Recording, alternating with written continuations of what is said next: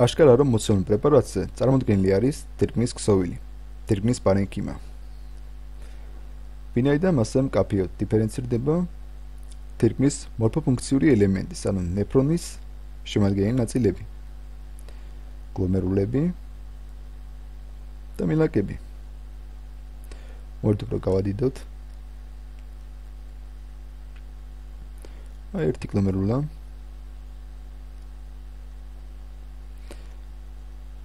ეს მეორე ასე მილაკები. კიდევ ერთი გლომერულა. ამ გლომერულას დაკარგული აქვს კონტურები წაშლილია დესტრუქციის გამო. კიდევ რამდენიმე გლომერულა. ისე მილაკები. და ასევე სისხლები მათ ანათურში არსებული ერითროციტებით მოცემულ სიცხნის აქვს განივი განაკვეთი. აი ამას სიგრძივი რაც შეეხება გლომერულებს ეს გლომერულები აქ ნორმალური არ არის. ვინაიდან ნორმის დროს მათში კაფიოთ უნდა განირჩეოდეს მოანასტომოსზე კაპილარული ქსელი. ეს კაპილარული ქსელი ამფენილი არის ენოთელური უჯრედებით. ხოლო ენოთელური უჯრედები დაფარული არის ეპითელური უჯრედების ორი შრით. ერთი ვისცერულით ანუ პოდოციტებით, რომლებიც უშუალოდ ეხება და მეორე პარიესულით. და ამ ეპითელურ უჯრედებს შორის არსებული სივრცეში უნდა ხდებოდეს პლაზმის ფილტრაცია. გარდა ეპითელურ უჯრედებისა, ასევე უნდა შეინიშნებოდეს მონონუკლეური ფაგოციტებიც მეზანგიური უჯრედების სახით. თუმცა ამ პრეპარატზე ამ გლომერულებში ეს არქიტექტონიკა არის დარღვეული. ვინაიდან შეინიშნება აცელულური უბნები. ანუ უბნები, რომლებიც არ შეიცავს უჯრედულ ელემენტებს და წარმოქმნილი არის გარკვეული მასით. აი ეს მასა აქ არის ეოზინოფილური ვარდისფერი და ასეთი მასები ჩვეულებრივ გვაფიქრებს ან ფიბრინზე, ან ფიბროზული ქსოვილის ელემენტებზე, ან რომელიმე პროტეინის დაგროვებაზე და ჩვენ მასე არ ვივარაუდოთ, გვჭირდება გარკვეული სპეციფიკური შეღებვა. და თუ ჩვენ ამ პრეპარატს შევღებავთ კონგო წითლით, მაშინ აღმოჩნდება, რომ ეს მასა წარმოქმნილი არის ამილოიდით. და სწორედ ამ პრეპარატზე ნაჩვენები კონგო წითლით შეღებილი თირკმის ერთ-ერთი გრომერულა.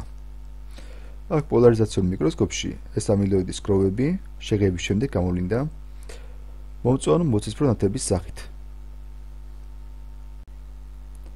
ამილოიდური მასები გროვდება არა მარტო გლომერულებში და იწვევს მათ თანადრომის დესტრუქციას, არამედ სიზარღვებშიც. აი როგორც აქ. სიზარღვის კედელში ჩალაგებული ამილოიდური მასა. აი ასევე აქ. თუ ამილოიდის დეპოზიცია გაგრძელდება, თანადრომით მოხდება გლომერულების ობლიტერაცია. მათი დესტრუქცია. შედეგად მოფუნქციონირე ნეფრონების რიცხვი შემცირდება. და მას მოყვება თირკმის უკმარისობის განვითარება. და ასე ხდება ხოლმე ამილოიდოზის აზოტემიურ ურემიულ სტადიაში. ანუ მის ფინალურ სტადიაში უკვე ვითარდება თირკმის უკმარისობა. თუმცა შეიძლება განვითარდეს ამილოიდოზის ნებისმიერი სტადიის ან ფორმის დროს. ამილოიდოზის თითქმის ყველა სტადიის დროს, გარდა საწყისი და საბოლოო, ანუ ფინალური სტადიისა, თირკმის ზომაში არის გადიდებული და ფერმკრთალი, ცვილისებური. აი შეადარეთ ამ თირკმეს. ეს ცვლილებები გამოწვეული არის სწორედ ამილოიდის ექსტრაცელულური დაგროვებით. შემდგომში როცა მოხდება უკვე ნეფრონების დესტრუქცია და მათი ჩანაცვლება შემართებელი ქსოვილით, თირკმელი გახდება გაცილებით უფრო მკვრივი და შეიძლება შეიჭმუხნოს. ან გარიდებული თირკმე შეიძლება დაუბრუნდეს პირვანდელ ზომას, ან შემცირდეს. და ეს არის კიდევ ერთი მაკროსკოპული სურათი. სადაც თქვენ ხედავთ გარიდებულ თირკმელს და მის კერქში მოჩანს მოყვითალო მოყავისფრო მოთეთრო უბნები. რომლებიც არის შედეგი ამილოიდის ინფილტრაციისა. ანალოგიური უბნები გამოვლინდა თერმის დინამონიტიერებაში მოლურჯო მოცისფრო ინფილტრაციის სახით. თერმის ამილოიდოზი შეიძლება იყოს ან პირველადი, ან უფრო ხშირად მეორეული.